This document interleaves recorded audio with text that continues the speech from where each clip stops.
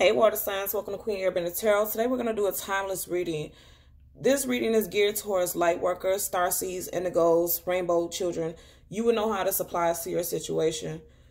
This is a channel message. This is a message in regards to our life path and our life purpose, what we signed up for here during this time, during our journey. Okay? And um we are being guided to help raise the vibration of the collective right now during this time. And these messages will be able to help us heal ourselves so that we can help raise the vibration of others because that's required right now. Very powerful requirement. So if you feel like you resonate with any of those titles, you might want to watch this video because there's messages in it for you guys. Okay. I'm an intuitive reader. I read the traditional sense of the card, but more than anything, I'm going to give you guys the messages that I pick up intuitively. If you're new to the channel, thank you for joining me today. And if you're returning, thank you for um, you know, joining me again and re returning back to the channel. Um, I always charge both of my decks with crystal Orgonite pucks. In doing so, it charges, balances, and aligns the energy for our reading. I also charge both decks on top of your own personalized cards, astrological cards. So again, this reading is for Cancer, Pisces, and Scorpio, Sun, Moon, Rising, and Venus individuals. And I hope everyone is doing well. Currently, both of my decks, there are no reversals. Every single card is upright. So when I shuffle, if we pull any reversals, I'm going to take those cards because those are aligned with the messages that I meant to give you guys today. So the message right now, right? We're needing to raise the vibration specifically because there's a lot of fear, a lot of angst, a lot of anxiety. And as light workers, it is our duty to give messages to assist vibrationally in healing. Because right now, fear anxiety, worry, stress, it's diminishing the quality of life of a lot of people. And I don't think anyone, you know, if you're going through so much, you're not thinking about that on a spiritual level. I'm going to tell you right now, if you're watching tarot and you're watching this message specifically and you were guided to watch it, there's a message in it for you. We're going to do two cards. One is going to be a general energy and one is going to be a possible outcome. In doing so, when I draw these cards, these cards are giving us messages about what we need to work on so that we can help raise the vibration or what it is that we are able to contribute right now in our energy fields. Okay.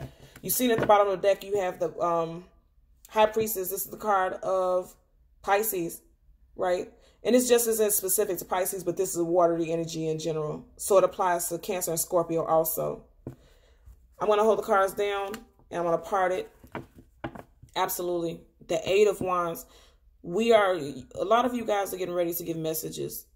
And it's going to be fast moving messages. I feel like a lot of you guys, especially with us just seeing that High Priestess, and now we're seeing the Eight of Wands. A lot of you guys are going to be delivering messages quickly. I feel like a lot of you guys' intuition, especially with the High Priestess, your intuition is going to be leading you to ways to communicate with people quickly to assure them about what it is that they need to do to balance themselves so that they're not allowing fear to cripple them. And that's and that's not a word that I use. That's I'm picking that up intuitively. Okay. As we part the deck to shuffle, you have the hangman. A lot of people are in hangman mode right now. A lot of people are so unsure of what's going to happen moving forward. A lot of people are facing layoffs. A lot of people are facing financial hardships and they're needing to hear these messages from you. They're needing to feel the energy, your vibration that's going to help them feel like they're not, you know, hanging upside down. A lot of people feel like they are literally hanging upside down right now.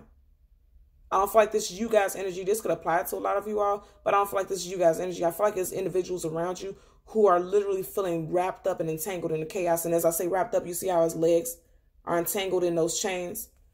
You have people around you who feel completely unhinged and they feel like their world has been literally you see how he's upside down? They feel like their world has been flipped upside down to due to this pandemic. This can apply to you also but i feel strongly like a lot of you all are experiencing this with people around you okay? So like i said we're going to get two cards. One is going to be a general energy the other is going to be a possible outcome and then we'll get clarifiers for both it's very important that you guys keep yourself aligned and balanced right now. If you are into meditation, you're needing to probably do extra sessions. And if you're not into meditation, the message that I'm picking up right now is that a lot of you guys need to start meditating. And it doesn't have to be something that's so difficult. You can listen to binaural beats, tones, things like that that will help balance out your spiritual equilibrium, your um, emotional equilibrium. That'll help you remain balanced. And I wasn't going to show this, but I'm being got to show you Eight of Swords. Like I said, a lot of people are in their head. Next to the Seven of Swords, I mean, Seven of Pentacles. A lot of people being hesitant. Now, I'm going to tell you right now, a lot of people are in their head. And then you have the Seven of Pentacles. You see how she's hesitant to grab this pentacle. And she's looking almost like she's not certain. She doesn't trust it. A lot of people are in their head right now about what's going on around them. They don't understand. They don't see a clear way out. That's why they are in bondage. And I just said they don't see a clear way out. Their eyes are blindfolded. So a lot of people, when you come try to give these messages of support and messages of comfort, they're going to be hesitant to listen to it because right now they're stuck in this state of mind.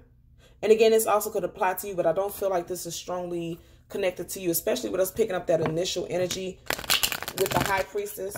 I feel like a lot of you guys are spiritually in tune, but I will say with that eight of swords popping up, I feel like a lot of you guys may be in your head about how to process this. I feel like a lot of you guys are going to be getting downloads that is going to be a little difficult for you to process. And that could also be why we've seen the seven of um, pentacles.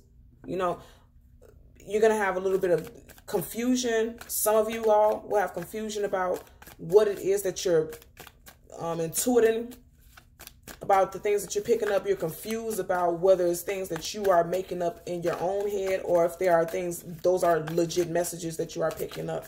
And I'm going to tell you right now, it is there's a portal that's open right now.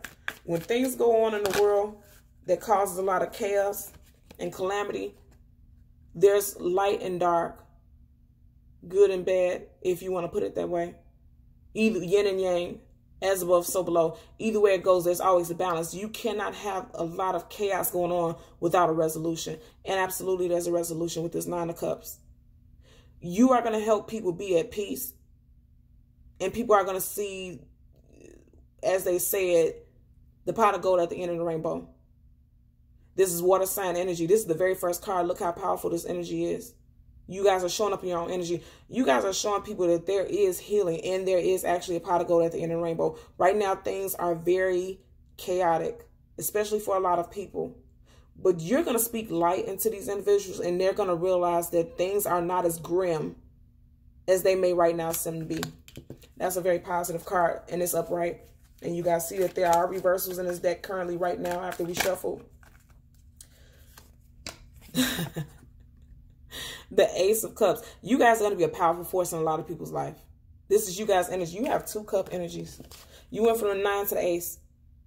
And again, I told you guys, I don't feel like that anxiety and worry is coming from a lot of you guys. A lot of you guys could be feeling that most definitely because you are water signs, water energy. So you feel everything deeply. If you feel anxious, worried, and concerned. I don't feel like it's your energy. I feel like intuitively, especially with us seeing in High Priestess, I feel like a lot of you guys are empaths. Look how large that cup is. That's a lot of energy. That's a lot of things being absorbed. And you see how this eye is right here? And there's this like light coming down on it. I feel like you're absorbing this light. So a lot of you guys are absorbing other people's energy. So be mindful of that. Keep your shields up. Keep your protective energy up. You know, talk to your spirit guides, your guardians light beings that surround you who are here with you on your journey. You're needing to do that. And as I say that, most definitely because you see the Nine of Cups, he's facing the direction of the Ace of Cups, which lets me know you're very intuitive at this time. Look at how big that eye is, that large eye looking over that cup. This cup is your energy. You're very intuitive at this time. And this large cup is sitting right here in this body of water. So be mindful of your emotions. But overall, just look at this energy. There are reversals in that deck, and both of these cards are coming up right. A lot of people are going to be looking to you right now for comfort. And that's also why you have these nine of cups. You you have these cups is like various people around you. People are going to be coming to you for comfort, for confirmation. A lot of you guys are intuitives. A lot of light workers are intuitives. And as I said at the bottom of the deck, you have the Three of Pentacles. Like I said, Three of Pentacles is about working together. And and I'm telling you right now, a lot of people are going to be looking to you for counsel. Because if you look at it, there's one person standing up here on this bench and there's two people listening to whatever it is he's saying. A lot of people are going to be seeing you as wise counsel right now. At the bottom of the deck, you have a three of swords. What I pick up with this energy that there's a lot of people who are feeling that they are going through some difficult, very difficult times right now. A lot of people are worried about finances, health, overthinking because swords is the mental communication. A lot of people are overthinking. That's what this three of swords, that's what I'm picking up. A lot of people are overthinking. Again, I'm going to tell you, I don't feel like this is your energy. And if you were feeling like that, you're coming into a time where you're no longer going to be feeling like that because I feel like you're going to realize that you need to be this beacon of light. Look at that light right there coming down. You're going to need to be this beacon of light for the people around you. A lot of people are going to need you to raise their vibration and help cheer them up. you know, it's Nine of Cups is about that celebration, right? As we part the deck so that we can shuffle. Absolutely. Look at the sword energy. A lot of you guys can have um, Gemini, Libra, Aquarius, Sun, Moon, Rising, Venus placements in your chart. Also, a lot of you guys can have air sign individuals in your circle who are going to be coming to you for some type of guidance, right? Also, with the three, this is very interesting. So you literally go from the three to the four. So a lot of, you're going to be able to help people be at rest. They're going from this place of anxiety, hurt, fear, and, you know, just worrying about things so now once they talk to you, they're at a place of, of rest. You're going to help put these individuals to rest and some of their fears to rest. I always say you, you literally went from the three to the four. There's three of swords. In this particular card, the, the swords are literally in the heart. In this card, those three stars are hovering. Those three swords are hovering over the heart, which means they are no longer literally physically in the heart you're going to communicate with people on a level to where now they are able to heal. The Four Swords is about somebody who's taking the time to lay down and heal, rejuvenate. And your words are golden. Look at how this person, this individual, the bed is gold. You know, this person is gold. Your words are golden, which means your messages are getting to your messages are getting to them in a powerful way. We're going to get a card to clarify the Nine of Cups and the Ace of Cups. Look at that. Absolutely. Now this Three of Swords is in reverse, and then you have a Tower card. Right now, they are feeling like they they are in Tower moments. I feel like a lot of people collectively feels like their whole world has come crumbling down but you're going to be able to help them see that it's not the end of the world literally. It may feel like to a lot of people it's absolutely not. I'm here to tell you that right now. You know how many end of the worlds that we are we have faced? I'm 35 years old and i've seen so many quote unquote end of the worlds. And we're going to see many more going forward. But you're needing to be mindful that no there's the end of cycles, portals are being opened, dimensions are being opened, things are being opened and brought to our attention to help raise the collective. As I said in the past readings that I just did, the I just did the air sign and the fire sign readings. Literally, when things happen, it catapults people into reaching and finding something else, be it religion, spirituality, when things happen, it forces people to look deeper into how do they heal or they're so fearful that they find something to run to and it's usually religion or other types of vices. If you're here on this channel, you're watching this right now, is you're you're digging for something on a spiritual level, right? And in doing so, you start to find out your strengths and your weaknesses, and that helps you move forward and help others move forward. And that's powerful, and you're needing to do that. Because as I said, you guys are going to be a voice for a lot of people, and a lot of people trust your words. And I feel like a lot of you guys are saying it. Ooh, that flew over there with compassion. Absolutely. Look at that. Oh my God. All you guys have is cups, cups, cups. You have the nine of cups, and clarifying it is the four of cups. I'm going to tell you, a lot of people initially are going to be doubtful. You see how this person is sitting here pouting? A lot of people are going to be doubtful about your words because right now they would rather be pouting because they feel safe. They feel safe pouting. They feel safe wallowing because right now they are in a place of disbelief and grief because there are going to be a lot of people who are going to be misplaced. And there's going to be upheaval for a lot of people amidst this pandemic. Okay on a global level. A lot of people are going to be affected. And so they're not going to see the brighter side of things initially. And they're not going to see that there's change available to them. There's information available to them. Because right now on an emotional level, they're not balanced. And I feel like a lot of you guys are going to come into their existence and their reality. Yeah. and just as I said, they're not balanced at the bottom of the deck. You have the Justice card in reverse. The Justice card is about balance. It's in reverse. They're not balanced. And I didn't even see that when I said that to you guys. A lot of people aren't balanced and you're going to help them with that. Let's get a clarifying card for the Ace of Cups. One clarifying card for the Ace of Cups. Too many popped out. Nothing faced us, so I'm not going to take any.